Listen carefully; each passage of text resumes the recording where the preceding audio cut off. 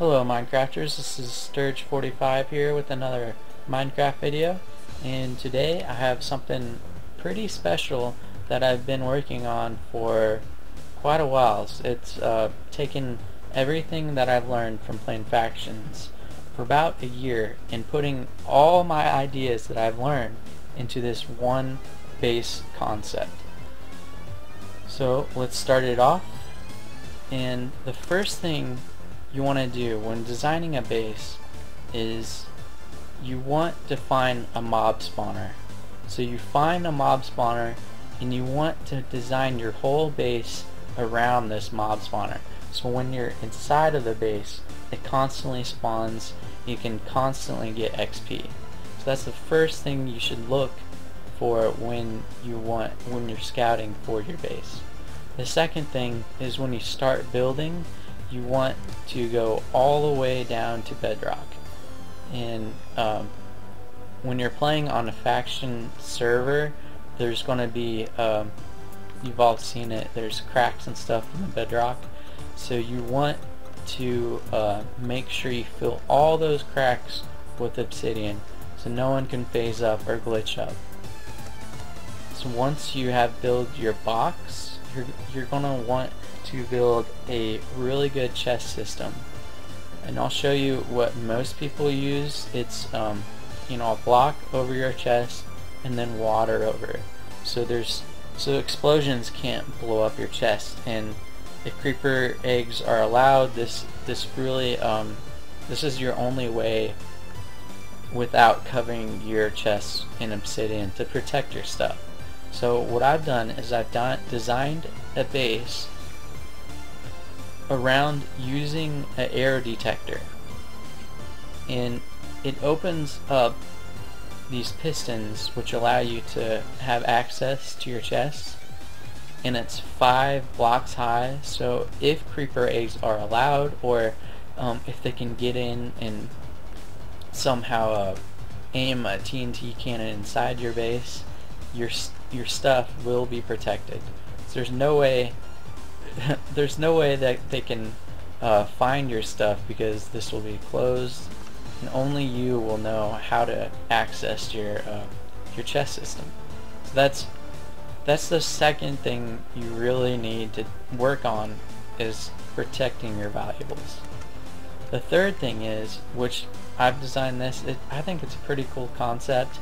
These redstone lamps will activate when there's someone snoop snooping around your base. So let me reset this and I'll just show you guys how it works. It's basically because cows um, stand idle after 32 blocks. So when you're designing your base, you want to have a buffer area of 32 blocks at least. Or um, if you're if it's not 32 blocks, these cows will uh, start moving and activate the pressure plates. So it, it takes maybe, you know, a couple of seconds, but if there's anybody snooping around your base, they're gonna these cows are gonna start moving and they're gonna hit these pressure plates. So this is a really cool system because it it allows you to um, know if someone's snooping around and from what direction they're coming from. So I would know there's someone snooping around on this side of my base. So that can alert me, I can get my chest, I can get my armor on, and and then, you know, that's a really cool strategy that it's given you a little bit of extra time to prepare yourself for battle. So that's a really cool system. I can make a tutorial for you guys if you want to see that. Um, the third thing you really want to have in your base is easy access to different parts of your base that are secure and that only you and your faction members can um, access. So what this is is a cobble cobblestone uh, generator as a door. So only people in your faction can use this and it prevents people from, you know, accessing different parts of your base. So that's um, it gives just some extra security inside your base and this would be especially useful um, for you to have this in uh, many parts of your base so you want to add as much security as you possibly can so it's just simple. It's a you can find a tutorial on the internet easy.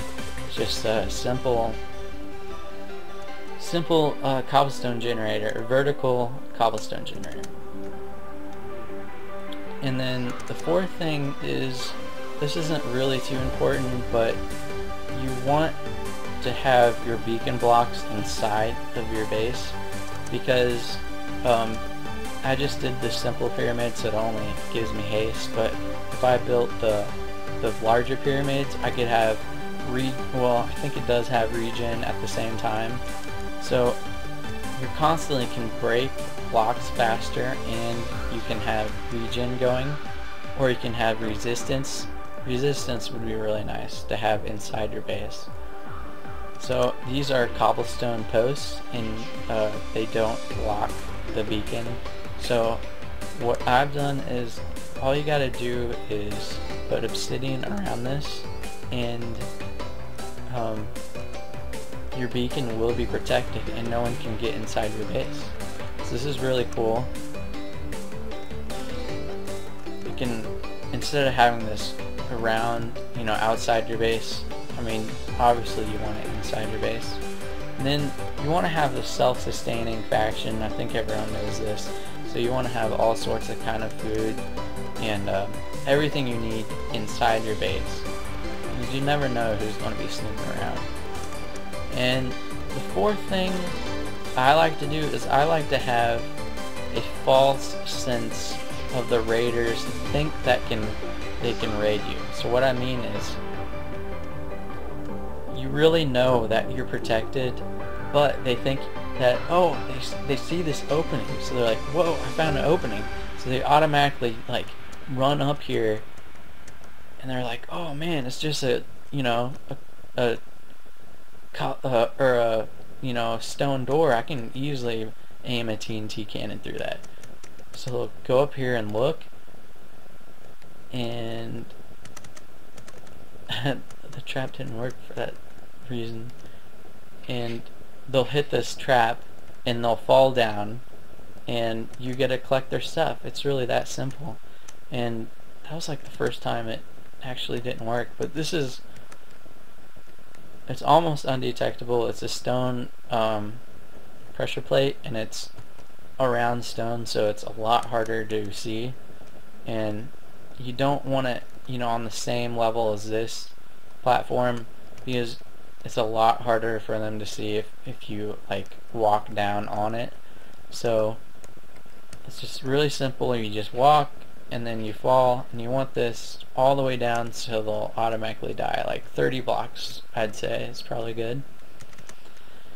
And then the last thing you want to do is have really easy transportation up and down from the many different layers of your base so most bases have, you know, many layers.